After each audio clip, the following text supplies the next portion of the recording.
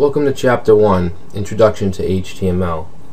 In this section we're going to discuss what HTML is, what it's used for, and we're going to discuss some of the core concepts of HTML including tags, other elements, as well as attributes and styling. Okay, so what is HTML? HTML stands for Hypertext Markup Language, and it's the language that your browser reads.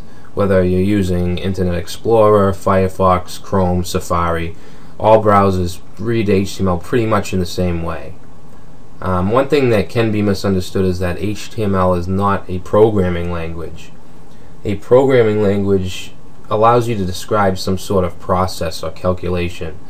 HTML is more of, a way of adding context and structure to text and other content. It's physical. It's not. It doesn't perform calculations. Um, the World Wide Web Consortium creates the standards of HTML. Um, there's HTML, XHTML, XML. This this series is going to focus on HTML5, which is the newest version. Alright, so the syntax of HTML is pretty simple. Um, it's fairly easy to learn, and I'm sure some of you already know this stuff. Um, but HTML uses a set of tag elements, and the idea is to wrap the content in the tag and the tag will then format the content how you want it to look. For instance, here we have this is a heading wrapped in an H1 tag, which is a heading tag.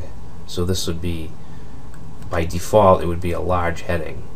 And this is a paragraph, would just be standard paragraph text. Now you can change the size and the look of the headings and paragraphs through CSS, but your browser also has a default setting a default font size for headings and paragraphs. So this is a standard, um, probably the most simple website you'll ever see, but it is actually a complete HTML document. Um, so what I'll do is go through this, what we have here. Um, first of all, we have the doc type, and it's very important that the doc type is the first element on the page. This is not a tag. The doc type is not a tag. It what it does is it's an instruction to the web browser about what version of HTML the page is written in. Um, if this was XHTML, you'd have something different here. You'd have the XHTML doc type. So that should always be number one. Next we have the opening HTML tag, which obviously we need. Um, it's the top tag always. Um, you, I, I don't think you'd ever have anything above that aside from the doc type. And next we have the head, and inside the head we have the page title. We have the opening title tag, the title, and then the closing tag. Now the page title is would usually show up on either the tab of the browser when you're on a, a, specific page or in the in the um, the top bar of the browser. This wouldn't be displayed only in the actual inner page. But this is very important, um, mostly for SEO reasons for search engines, because this is what shows up when your site pops up in Google or Bing. So it's it's important to optimize these titles, um, but that's beyond the scope of this of this tutorial. And next we have the closing head tag, and after the head we have the body, which is obviously the inner, the, the main content of, a, of any website. And obviously in this we only have uh, just a small paragraph. Obviously this would be, there'd be a lot more in here. We just have a, a hello world wrapped up in a paragraph tag just for just for show. And then we have the closing body tag. And then finally we have the closing HTML tag. So all HTML tags are either block elements or inline elements. And I'll explain this a little more when we actually build our, our web page. But basically a block level element, it creates a block of content. Um, it creates a, a, new line before and after it. Um, an example of a block element would be a paragraph. Now, if you have a paragraph, if you have text wrapped in a, wrapped in a paragraph, then there, there won't be anything before that on that line or after that on that line. It starts a new line always. Now, H1 through H6 headings also are block elements, forms, You have div tags, which are block level. Um, all of these would create a new line, which I'll explain more when we're actually doing our project. Alright, so inline elements, um, they don't create new lines like a block level element would. So you can have, say, an A tag, which is an inline element, run alongside of another A tag, and there would be no space, there'd be no line break in the middle. They could be on the same line. So that's an inline level element. We have the A tags, um, the bold tag is an inline element, input tags, and input tags actually don't have a closing tag, which I'll explain uh, very soon. Uh, span tags are also inline. So all tags have attributes or can have attributes. Um, and there's there's a number of different kinds of attributes. We could have the width or height as an attribute, um, the style, and as we have here, the href attribute, which is a URL. Um, and most attributes, if not all, are in a name value pair separated with an equal sign. So here we can see the attribute name is href and the value is http google.com which is the link um, and just like before we have we have the text wrapped in an a tag which is a link a link tag and we have the text Google so what this would look like in the browser would just be the word Google and you could click on it and it would be a link um, so attributes, uh, they basically just provide additional information about a tag or an element. Um, and attributes are always always specified in the start tag. They're never put in in the back in the in the ending tag. So we have some other common attributes. Um, the style attribute is a big one. Uh, the style attribute will allow us to design the layout and the look of our page of certain elements on the page. Um, and here we have a, an example. We have a uh, p tag, which is a paragraph tag, wrapped uh, wrapped around the text. This paragraph will be red, and we have the style attribute, which is the name, and then we have the value, which is color red. Now this is a selector. This is a style selector color. Um, there's many different kinds. There's background color. There's width, height. Um, we'll get into that in a later section. Um, and here we have the ID and class attributes which will allow us to select a certain element and these are usually used either for JavaScript or CSS if you have an external style sheet. Um, you can connect an ID or a class to an element. Here we have the p tag and we have the ID my paragraph. So we could style this in a CSS style sheet um, by just defining this ID and then the properties we want to, to attach to it. Um, the title attribute, it just adds extra info about the element or tag. Um, and this, in most new browsers, will be displayed as a tooltip if you hover over it. If Like right here, we have a link and we have the title click to go to some site. So this would be a link, and when you hover over the link, a tooltip would pop up and say click to go to some site. Singleton tags are tags that do not have a closing tag.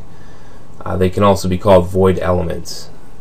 Um, an example of a singleton tag would be the image tag, the IMG tag. This right here, IMG open tag, IMG close tag is wrong. Only the opening IMG is needed. And this is usually used, always used, with attribute only tags such as image. Um, they can use a trailing slash in HTML. If you're writing XHTML, then the trailing slash is required for it to be valid. But HTML, HTML5, you do, do not need it. Uh, it's usually not used, but it doesn't it doesn't hurt your document if you do use it. And here we have some examples of tags without a trailing slash. We have the line break, uh, the horizontal line, image, command. and this is what they would look like with the trailing slash. And once again if you're using XHTML uh, which is not covered in this tutorial this is how you would do it. So images on an HTML page are defined by the image tag the IMG tag. And as we as we talked about in the last slide the image tag is empty aside from its attributes. There's no content in between and there's no ending tag. It's strictly just the IMG with the attributes.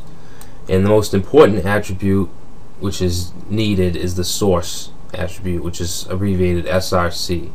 And what this does is it points to the, the physical location of the image you want to display.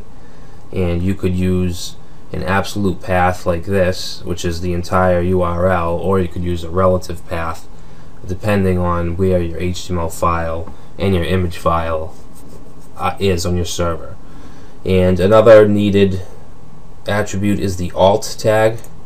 Let me just make this lowercase. The alt tag, what it does is gives it a, a, a text title. Um, it differs from the title tag as it's not it's not a tooltip when you hover it doesn't hover over as a tooltip but what it does is if your image is not found, say your image isn't there where it should be, this will display. Um, so say you have a you have a, a logo.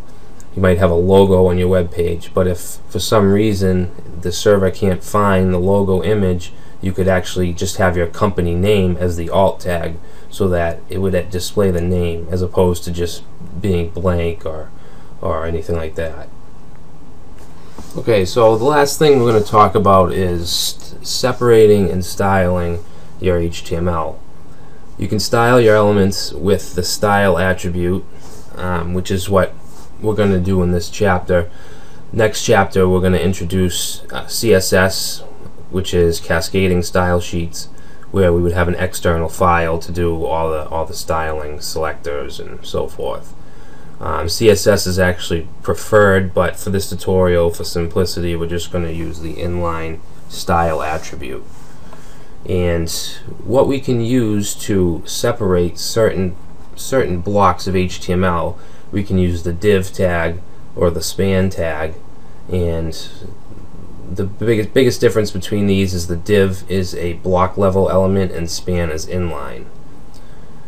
And here we have an example we're using the div tag and we're using the style attribute.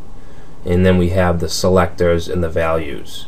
So we have padding which is 5 pixels we're going to have. First of all we have what we have here is an h1 heading and a paragraph. Um, very simple. And it's wrapped in the div tag with the with padding of 5 pixels a background color of black and color of white so what this means is this block right here, first of all, is going to have a padding of 5 pixels. So it's going to have 5 pixels on each side of it, a space with 5 pixels on each side. And the background color of the entire div will be black. And the color is actually the text color. So the H1 in the paragraph will be white text. And I'm going to get into this um, very soon when we start our first project, our first small web page. So here are some common style attribute selectors. Um, as we as I showed you in the last slide, we can have the color selector of red, which would make the text red.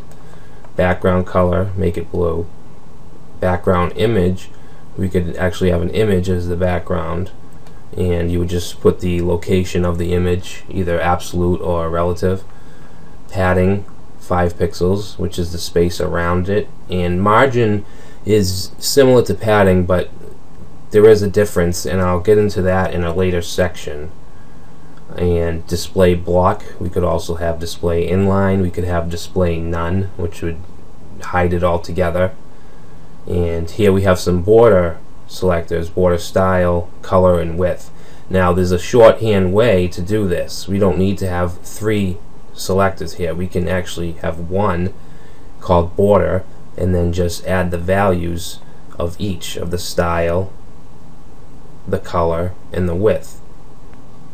So we've covered the basics of HTML syntax and the tag structure.